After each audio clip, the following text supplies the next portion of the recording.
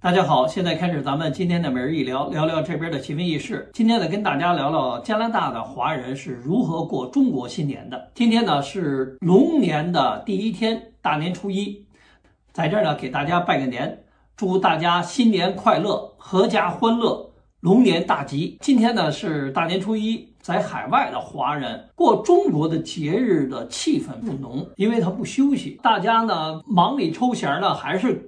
组织很多的活动，虽然说没有中国国内的那么那么大的氛围，各个社区啊，啊，他们还是搞了一些活动啊。你尤其是像多伦多这种大城市，购物中心、商场、China Town 这些地方都搞活动，有有武术表演，有舞蹈表演，还有什么传统狮子舞，这是必不可少的。小城市和大城市都有，大城市就多一点。像我们这个温莎这儿，大年初一。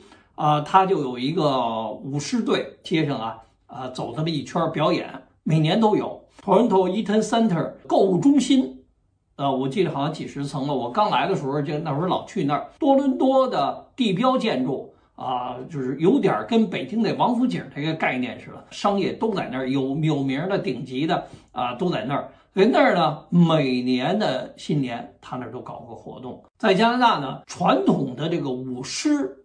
是必不可少的，因为这个呢是相对说历史比较悠久了啊，这就在国内咱们小时候，像我们小时候都都看过哈啊，所以外国人一般都知道啊，这个龙舞一说过什么节日舞这个中国的龙舞，就是舞狮表演吧。有的那个老外呢搞什么活动啊，有时候还特意请他们这个表演队去表演。在加拿大这个啊商业和社区搞的这个活动，这个呢是越来越。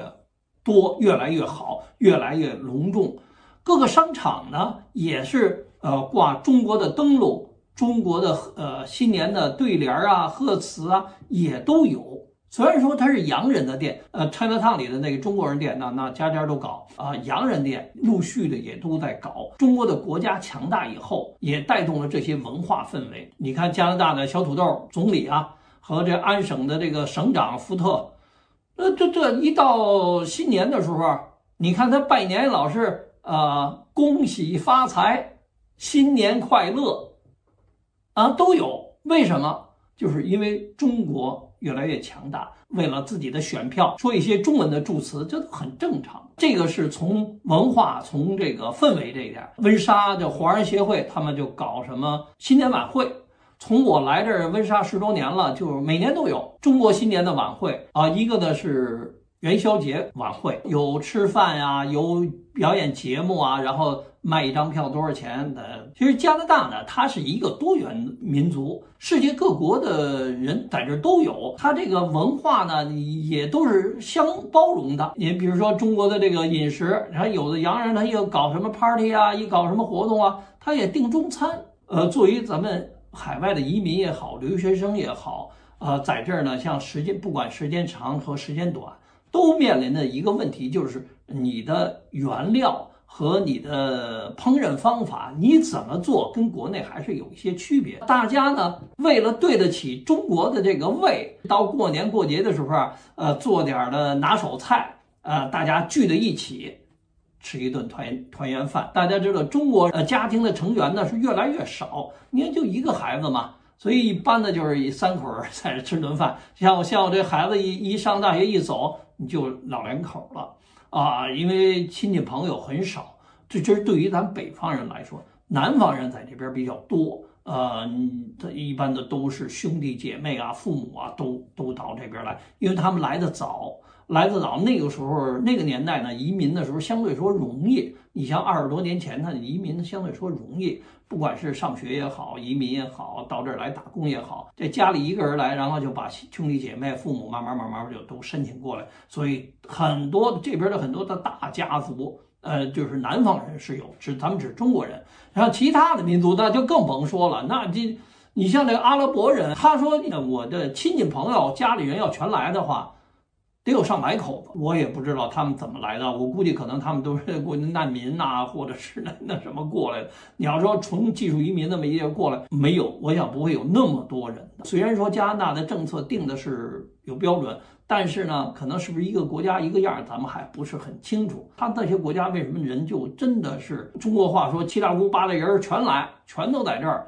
那你想想这，而且他们的生的孩子又多，我感觉就是咱们在国内时候，我们小时候那大家庭似的，像我们家北京，像像我们贾家门这个，在北京就算大家族了。我记得我小时候那那很多，咱们现在称着爷爷奶奶，那时候管我都叫爷爷，管我妹妹叫奶奶。那那我看都老头了，就是辈儿大，所以那个那个家族啊，就是非常人多。但是现在全没了，啊，都都比较单一了。刚才我说的社区搞的这些活动啊，大家聚在一起娱乐娱乐还可以，但是说真正的一个家庭来讲，那就基本没什么人，基本都是要好的朋友，赶上星期天休息，大家聚在谁家里炒几个菜啊，庆祝庆祝。这做这菜呢，还不是。一家子做五个家庭，那每家呢拿做两个菜，就商量好了做一个菜，做俩菜，到这家里，到主人家里，主人家里再做几个菜，这一块儿大家一聚。在加拿大呢，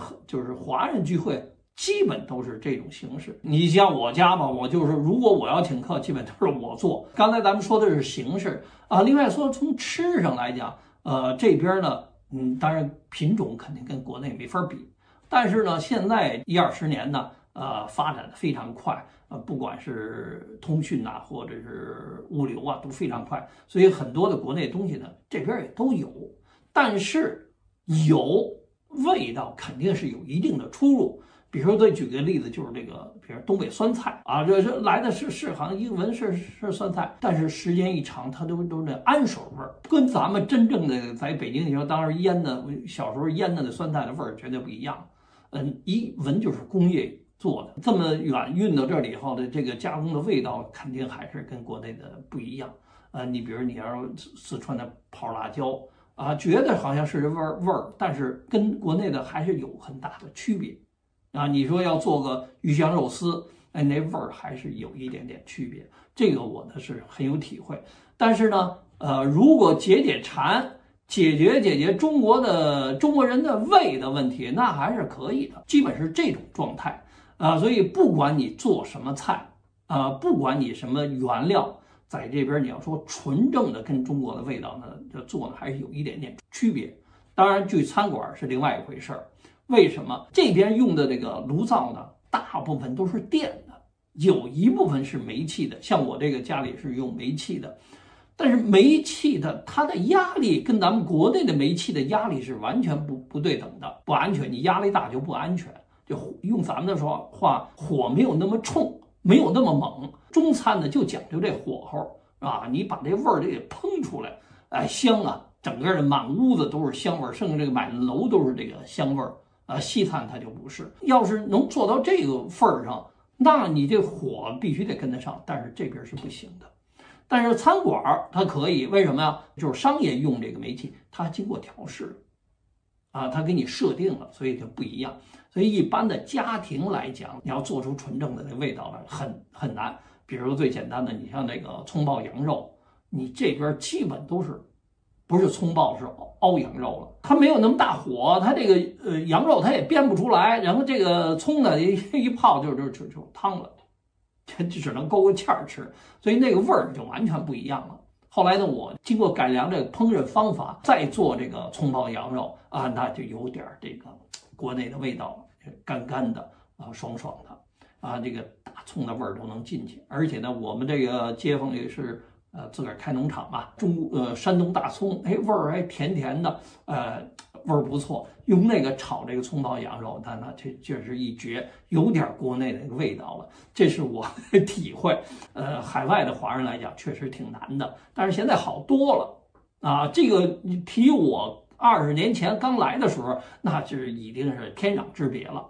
呃，原来来的，因为原来咱们那边的只是。都是广东调料，呃，大陆就是咱们北方调料几乎没有。你到这儿来，刚来的时候，你不会说广东话，你都找不着工作。对于中国人来说，你要在中国人圈里干，你当洋那没问题了。但现在当然没问题了，你不会说普通话不行，你光说广东话不行。现在是掉个个儿了。呃，作为当地人来讲，当地的洋人来讲，他也是在变化。像我遇到这个洋人啊，他们也会跟你聊很多的中国的事儿，他们也很感兴趣，对中国的文化，对中国的语言啊，呃，有的时候也学几句。哈 哈这这其实这都是标志着中国强大、中国的崛起、世界带来的变化。这是从我的角度上我观察到的。那好，今天咱们就聊到这儿，谢谢大家，希望大家帮我点赞、订阅、评论、转发，咱们下期见。